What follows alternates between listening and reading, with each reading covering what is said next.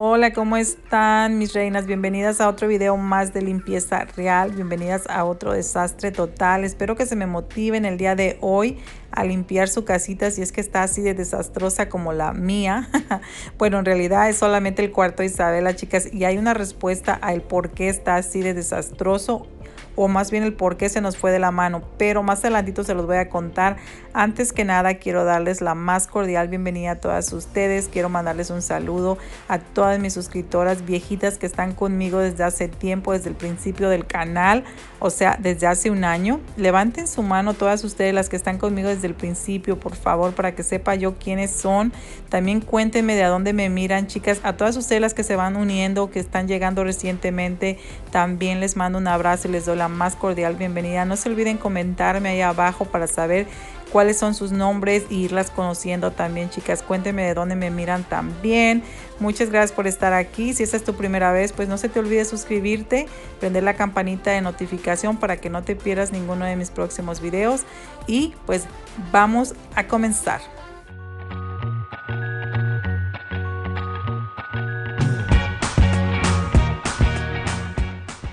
Y lo primero que empecé haciendo fue quitando las sábanas y los muñecos de, Isabela de la cama, todos los edredones o las colchas y las llevé a lavar porque ya era necesario hacerlo también. Si se dan cuenta, ya en la esquina hay unas manchas de pintura blanca y lo que pasa es que mi esposo reparó algunas áreas en este cuarto, en las paredes, porque se lo va a pintar a mi hija. Le vamos a hacer un cambio aquí en el cuarto de la niña. En los últimos tres o cuatro años, creo yo, no se ha hecho nada en este cuarto y nos dimos cuenta que la pintura ya se estaba deteriorando. Entonces es hora de hacerle, pues darle una manito fresca de pintura, a, a una manito de pintura fresca, mejor dicho, creo yo, al cuarto. Quiero traer un escritorio Isabela, quiero hacer unos pequeños cambios aquí en este cuarto. Entonces, por esa razón, yo no había venido a limpiar. Isabela vino y me dijo, mamá, ya es hora de que hagamos la limpieza profunda de, nuestro, de mi cuarto. Y le dije, hija, dame un par de días porque ando un poquito ocupada y en realidad esta no es mi prioridad ahorita, ahorita, porque tu papá pues va a trabajar en ese cuarto en unos días más. Me dice, entonces te lo dejo así. Le dije, así déjalo porque necesito trabajar en él profundamente. Entonces, ahorita no tengo el tiempo. Y Chicas, para ustedes las que van pasando por aquí o si esta es tu primera vez o, o las que van llegando recientemente, quiero decirles que mis hijos se encargan de sus cuartos. Yo no meto mano absolutamente para nada en los cuartos de los niños. Yo solamente vengo uh, dos veces al mes o una vez cada dos semanas hacer la limpieza profunda porque pues obviamente ellos todavía están pequeños y ellos no saben todavía de limpiezas profundas. Así que eso es lo que yo hago. Pero en esta ocasión le dije a Isabela, dame unos días porque pues estaba un poquito ocupada y me, me, obedeció al pie de la letra, chicas. Me, no solamente me obedeció, sino que me dio un poquito más de trabajo para que les grabara a ustedes.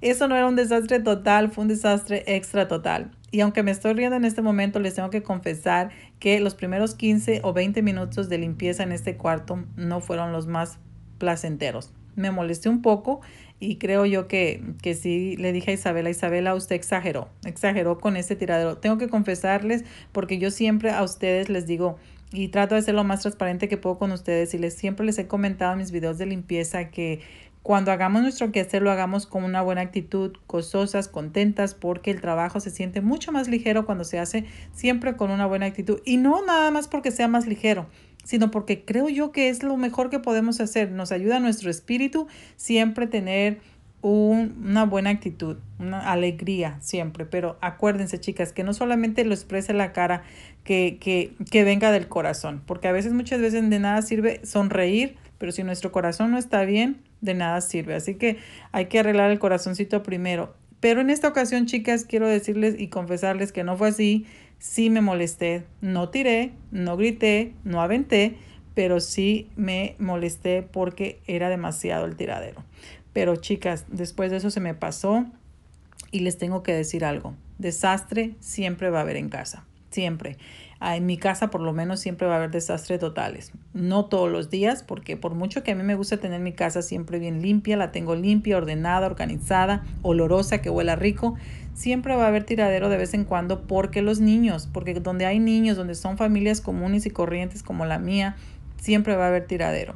Como les digo, no siempre, de vez en cuando, cuando a veces se salen de la mano, estas cosas suceden. Pero a mí me gusta a la misma vez, aunque no me gusta el desastre, disfruto mucho limpiarlos y hacerlo porque se los traigo a ustedes. Yo sé que a muchos de ustedes les gustan los videos de limpieza y especialmente muchos de ustedes este tipo de desastres totales porque algunas de ustedes me dijo una vez, una o dos yo creo, pero una de ustedes me comentó, Pilar, creo que tú creaste o eres la creadora del desastre total, de los videos de desastre total, porque a mí me encanta este tipo de videos y los fui a buscar y tú fuiste casi la única que te encontré con desastre total, por lo menos los más viejos. Ya han salido otros, me dice, pero tú eres la más vieja y creo que tú eres la que uh, inspiraste a hacer desastre total. Y digo, espero que no inspire a hacer desastre total en la casa. Por lo menos me, me pienso yo que se refería al título del video pero chicas, la verdad es que eso es normal, esto va a suceder en casa de Lupita, en casa de Juanita, en casa de Petrita, no sé, porque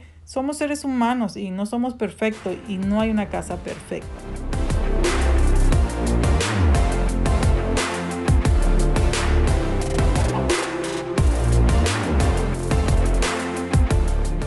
Pero creo que sí es importante, chicas, que enseñemos a nuestros hijos a ser responsables desde pequeños, que cuando ellos hacen tiradero, que ellos lo levanten, que cuando ellos se ensucian, que ellos lo limpien, si descomponen algo, que traten de componerlo, porque eso les ayuda a ellos como personas también. Cuando ellos salgan de casa van a saber ser responsables. Y es bonito ver a un jovencito o una jovencita que son responsables en sus cosas. Así que pues yo las animo a que eh, eh, entrenen a sus niñas, a sus niños desde pequeños, que les enseñemos cosas pequeñas en la casa, pero que, que, lo hagan, que aprendan. Y disculpen si escuchan ruido, pero estoy grabando a un lado de mi oficina, aquí en mi oficina, y pasan los carros como a mil por hora, de verdad pero espero que no se escuche tanto el ruido. Pero chicas, de verdad, eso les decía que es, es bien importante enseñar a nuestros hijos. Isabela ya que andaba ayudándome, como pueden ver. Antes de eso la puse que me ayudara a limpiar el refrigerador. Sé que no puede ser la, la, la, la limpieza como a mí me gusta, pero por lo menos van aprendiendo la puse que sacara las cosas que ya no servían y que me desocupara un poco para cuando yo vaya, pues el trabajo sea menos también. Así que son cositas así pequeñas que me gusta poner a los niños que yo sé que le van a hacer de, de bien para ellos más adelante. Así que pues nada, me traje el bote de basura aquí al cuarto, sacudí, saqué todo, chicas, todo lo que había en los cajones que ya no se utilizaban como por dos años, tres años, yo siento que las cosas, o pienso más bien que las cosas que no se han utilizado en dos años ya no se van a utilizar en tres o cuatro años. Así que es mejor sacarlas y ya desocupar el espacio y tener más espacio.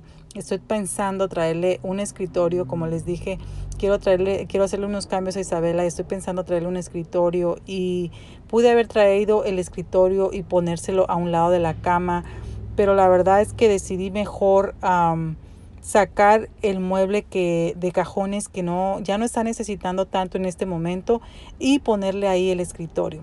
Así a la misma vez pues estoy minimizando porque siento que el espacio como que como que se siente mejor cuando no hay tantas cosas en, en, los cuartos, en la casa, se los he comentado antes, es mejor cuando está todo espacioso.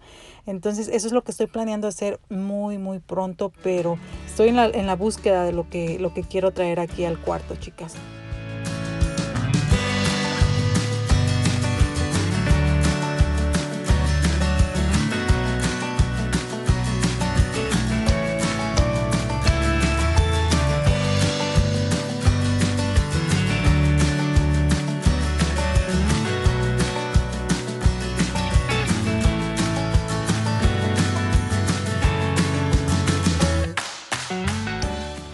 Y ahora está pasando un helicóptero por ahí arriba, chicas. Pero les decía que ya aquí ya lo único que estaba haciendo fue limpiar abajo de la cama, sacar la basura, también le di, aspiré la carpeta para sacarla afuera y para que mi esposo le dé lavado a presión. Y, nada, eso fue todo lo que hice en este día. Espero que este video les haya motivado, que les haya gustado. Si algunas de ustedes ha tenido este problema, chicas, de que cuando vienen al cuarto de los niños y lo encuentran de cabeza, cuéntenme. No me dejen sola, por favor, díganme que no soy la única con este desastre en los cuartos de los niños. Pero nada, espero que les haya gustado. Ahí donde me están viendo en este momento, ahí es donde pude haber puesto el escritorio que les comento, que quiero traerle a la niña. Eh, lo pude haber puesto ahí, había espacio, pero se, se, reduciría también el espacio a la hora de moverse alrededor de la cama y la cama de los niños, por lo menos la de Isabela tiene ruedas, tiene ruedas la, base de abajo para poderla mover y poder hacer la cama. Esa es la única posición en la que me gusta que esté, chicas. Podría moverla para otro lado. Sé que algunas de ustedes me dijo, ¿por qué no la mueves? De la manera que yo la ponga, de todas maneras no se va a ver bien porque hay ventanas de lado y lado. Entonces, quedaría de la misma forma. Y esa es la única manera que me gusta cómo se mira y en la que le da mucho más espacio. Así que hay que estar moviendo la cama cada vez que hay que como acomodarla. Por eso su cama tiene ruedas.